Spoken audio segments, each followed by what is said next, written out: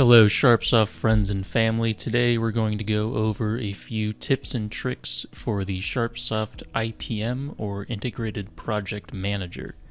So as you can see here, we're on our little home page, our new dashboard setup, and we're just going to go ahead and insert a new project. So how we do that is we come up here to set up projects in the toolbar, we click that.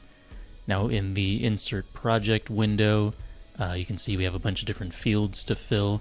If you notice the asterisks next to just a few of these, those are the only ones that are mandatory. But we'll go ahead and fill in as many as we can because it's always recommended to have as much information as possible.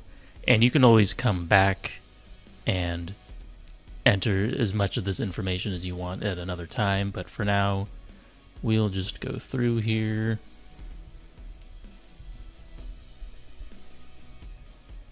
we'll just select our department here and we'll choose a bid date. We'll just make it today.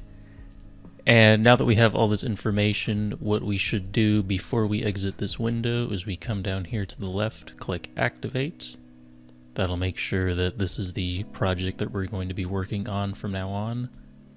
So now you see the project has been added to our list of projects and it is highlighted to show that it's activated. Now join us next time as we go over how to enter bid items.